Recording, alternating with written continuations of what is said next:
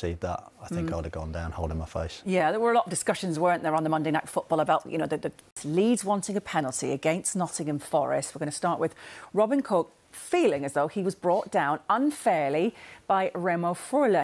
Uh, the big headlines of the week. We want to talk and get your thoughts on these bans handed out to Alexander Mitrovic and uh, Marco even because well, of that. It, it, could be anything, Hayley, couldn't it? You know, the yeah. FA have appealed, said it's not enough.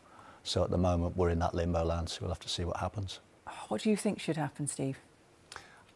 Do you think they'll have a bit of a look at it at the end of the season and look at some of these these bans and the lengths of the bans and, and, and, and making sure that things kind of fall into line and the correct uh, bans are put in place?